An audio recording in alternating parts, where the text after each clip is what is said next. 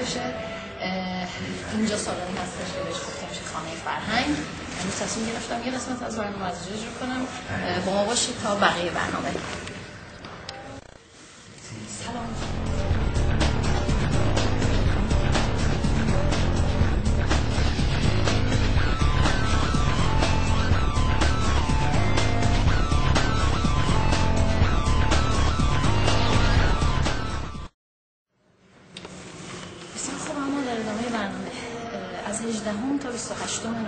استکهلم یک فستیوال فیلم هستش که این مکان هم که گفتم خانه فرهنگ یکی از محلهایی هستش یکی از سالن سینما اینجاست. مجله که میرید دست من مربوط به این فستیوال میشه. روز روز دیروز به عبارتی یک فیلمی که خب مورد علاقه خود من بوده پخش شده به اسم بیوتیفول و فابیو باردم توش بازی می‌کنه شاید دوست داشته باشید. این فیلم رو ببینید حتما می‌تونید مراجعه کنید و ببینید این فیلم رو این فستیوال فیلم از همطور که گفتم 18 تا 28 نوامبر هستش و امروز روزهای اولش رو سپری می‌کنه. امیدوارم که بتونیم گزارش های بیشتری داشته باشیم و لذت ببریم از این فضا. مرسی.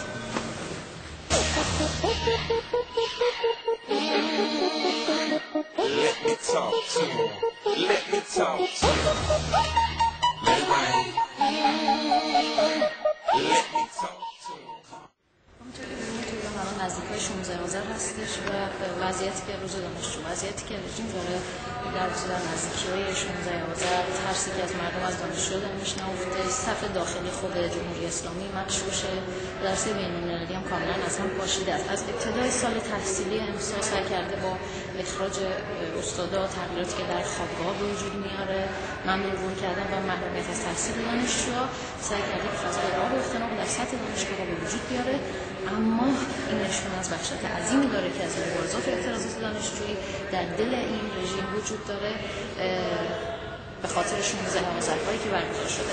اینجا قسمت دیگه از همون خانه فرهنگ است و میریم تا قسمت بعدی.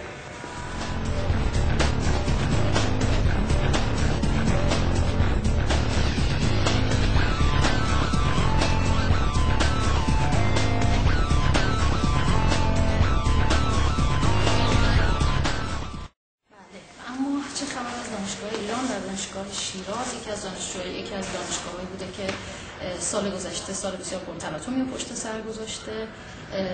یاسر رحمانی از علوم پزشکی شیراز بعد از سالین گذشته بوده که اخراج شده.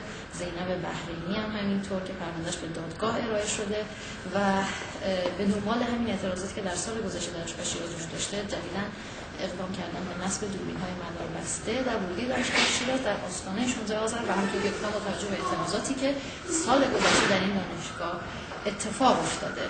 همینطور مسئله بعدی که می‌خواستم راجبش حرف بزنم این بودش که همینطور که می‌دونید قرار بود که دانشگاه علوم پزشکی اه، دانشگاه علوم پزشکی ایران منحل بشه و سخنگوی کمیسیون اصلی 90 مجلس گفته که احتمال داره حکم انحلال این دانشگاه لغو بشه زنده باد اعتراضات گسترده و شجاعانه شما دانشجویان این دانشگاه که باعث شدید جمهوری اسلامی به عقب برونید. بریم با هم قسمت بعدی برنامه.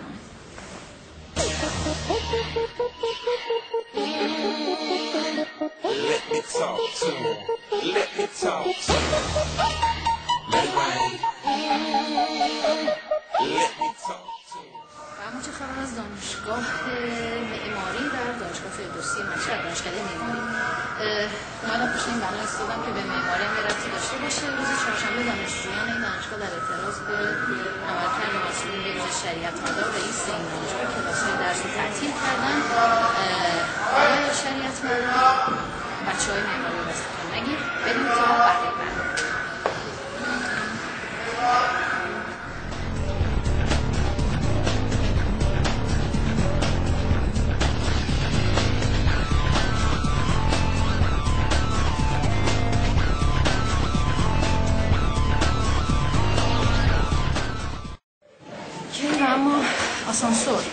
در دانشگاه آزاد کرج تنها دان... کارمندان حق استفاده از آسانسور دارن با کارت الکترونیکی و دانشجو حق این استفاده ندارن اینجا هم آسانسوری هستش که ما داریم ازش استفاده می‌کنیم خب میریم تو قسمت بعدی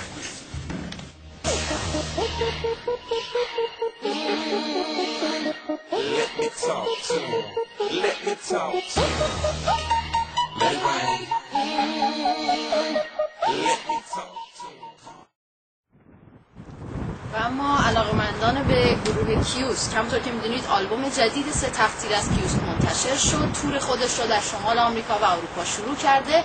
ماه گذشته تورنتو مونترال کلن و فلورانس رو پشت سر گذاشته. 20 نوامبر هامبورگ 21 آمستردام 24 اسلو 26 گوتنبرگ و 27 نوامبر استکهلم. در همین مکانی که الان من ایستادم سالانی که پشت سر من می‌بینید به اسم گلوون اه، قرار هستش که گروه کیوس اجرا داشته باشه.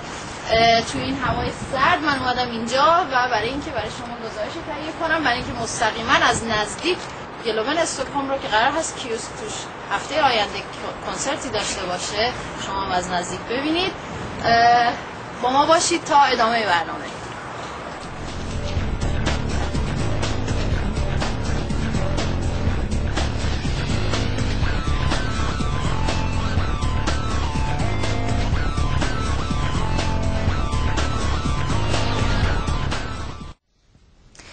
بسیار خوب من میکروفونم رو درست کنم بقیه برنامه رو اما من اومدم به استودیو.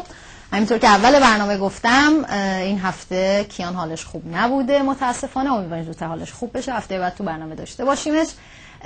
ادامه برنامه رو از استودیو با شما خواهیم بود. و اما مسئله بعدی که در استودیو می‌خوام با شما راجع بهش صحبت بکنم همینطور که می‌دونید هفته گذشته فیلمی قرار بودش که جمهوری اسلامی آغاز بکنه. در مورد اسمش بود به اسم پایان نامه در مورد حوادثی که پارسال تو ایران اتفاق افتاد و مردم به خیابون ها اومدن بعد از انتخابات و اون قیامی که بالاخره مردم تقریبا حدود یک ساعت تو خیابونا بودن. قرار بود که لیلا اوتادی نقش ندا رو اینطور که انتشار پیدا کرده بود اخبار ندا نقش ندا رو بازی بکنه تو این فیلم و هفته گذشته در مصاحبه با خبرگزاری فارس تکذیب کرد و گفته که به علت پای شکستش راست یا دروغش پای خودشون ما فقط من فقط اخبار و چیزایی که تو اینترنت دیدم براتون انتقال میدم اعلام کرده که توی این فیلم نمی‌تونه باشه و کلا تو پروژه فیلم نمی‌تونه باشه. امیر آقایی هم که یکی دیگه از بازیگران این فیلم بود بازم تو هفته گذشته که ظاهرا یک حدود یک هفته از فیلم برداری از آغاز فیلم برداری این پروژه گذ- گذشته بوده گفته که کنارگیری کرده. بر صورت تو یک صفحه تو اینترنت من یه سری کامنت دیدم پایین این مسئله. یکیشون برای مثال نوشته بود که خبرگزاری فارس نوشته بود دروغ پراکنی فارس. حامی اوتادی شده اخبار جدیدی در راهه. یکی دیگهش نوشته بود که بی احترامی و فهاشی به هیچ فردی درست نیست. یک کامنت دیگه هم نوشته بود که اما تجربه علیرضا افتخاری تجربه خوبی بود و اما یک کامنت دیگه هم بود نوشته بود که رو به بقیه بازیگران و دستندرکاران فیلم. گفتن که آخه مثل که قرار هست به جای لیلا اوتادی به کس دیگه پیشنهاد بشه. حالا بر صورت. گفته که تا دیر نشده شما هم بیاین و تکذیب کنید. بعد از اتفاقاتی که پارسال افتاده توی ایران کس مردم امثال افتخاری یا کس دیگه رو که بخواد با جمهوری اسلامی همکاری بکنه در هر پروژه‌ای که مربوط به این مسئله باشه مثل مسائل عادی ازش نخواهند گذشت. بر صورت این هم اخبار جدیدی بود در این رابطه که من خواستم به اطلاعتون برسونم. با هم میریم یک ویدئو می‌بینیم. و بعدش برمیگردیم تا راجع به مسئله بعدی که می‌خوام براتون توضیح بدم. راجع به همین ویدئو هستش. با هم بریم ویدئو رو ببینیم.